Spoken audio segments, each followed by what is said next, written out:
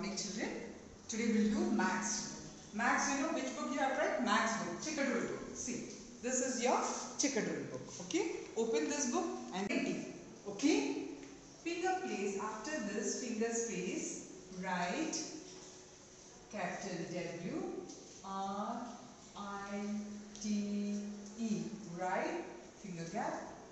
Numbers N U M B E R S. Numbers, finger space, gap F R O N. From finger gap 5 1 51 finger space T O 2 again put your finger leave space and write 1 0 0 100 so today we'll write 51 to 100 we finished writing 1 to 50 before today. We'll write from 51 to 100 so finish writing 51 to 100 heading. We finished writing before last class 1 to 100 we finished 1 to 50 we finished okay today we'll write 51 to 100 okay?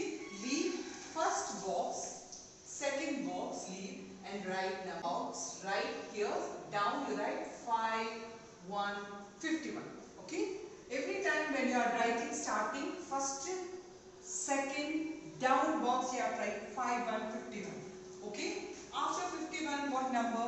52 okay? After 51 5 2 52 5 3 53 5 4 54 5 5 55 5 6 56 5 7 57 5 8 58 5 9 59 after 59 what number will come children here?